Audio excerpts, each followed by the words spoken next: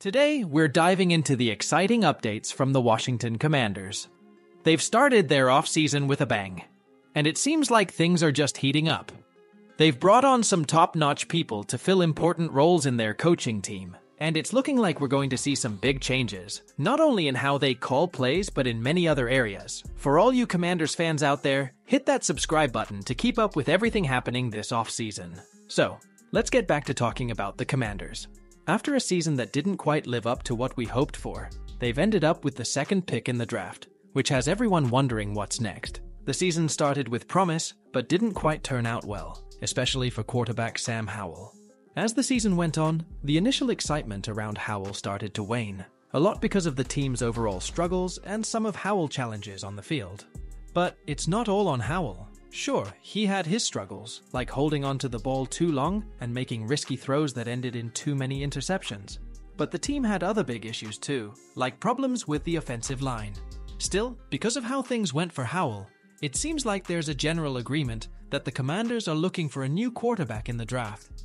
Now, the big question is who will they pick as their next quarterback? This became an even bigger deal after they let go of Ron Rivera, their head coach. Rivera fire wasn't a shock for many, given the team poor performance under his lead. His coaching style seemed a bit old school, and he wasn't able to get the team motivated or bring about the kind of culture change that was needed. This opened up an exciting chance for the Commanders to bring in a new head coach during what's being called one of the most exciting coaching cycles in a long time. But then, their first choice for head coach, Ben Johnson, decided to stay with the Detroit Lions, which put the Commanders in a tricky spot. After missing out on other potential candidates, they ended up choosing Dan Quinn, decision that had people feeling all sorts of ways. But let's look at why this might be a great move. Dan Quinn is well known for his time with the Atlanta Falcons and the Dallas Cowboys, bringing a ton of experience with him.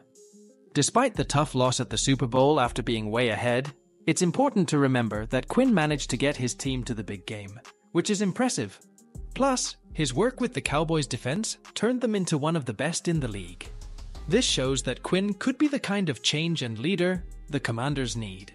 When Quinn joined the Cowboys, he took their defense from one of the worst to a powerhouse, getting them to rank in the top seven for points allowed per game in his first season, and then even higher after that.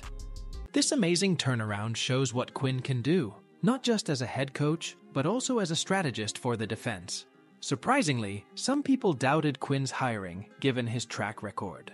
With the 2024 season coming up, it looks like the Commanders' defense is set to get much better, which should help take some pressure off their young quarterback and make winning more realistic.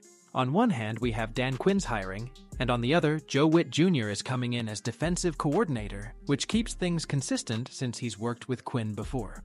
But the Commanders are also making big moves on offense, parting ways with Eric Bieniemy and bringing in Cliff Kingsbury.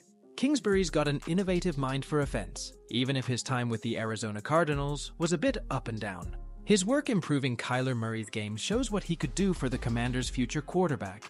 The excitement around Kingsbury joining is even bigger because of his recent work with Caleb Williams at USC.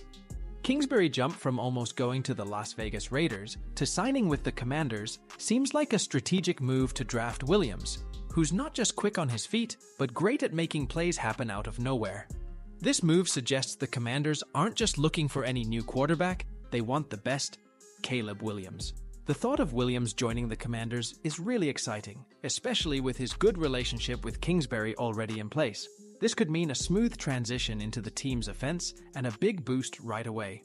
Plus, with talented receivers like Terry McLaurin and Curtis Samuel, there's a solid base for a young quarterback to do well. The Commanders might even try to trade up for the first overall pick to get Caleb Williams, a move that could change their future. While it's still speculation, this fits with the strategic moves they've been making and could set the team on a successful new path. What do you all think about the Commanders' off-season moves and the potential of getting Caleb Williams? I'd love to hear your thoughts, so please drop a comment below. Stay tuned for more updates, and I'll catch you in the next video.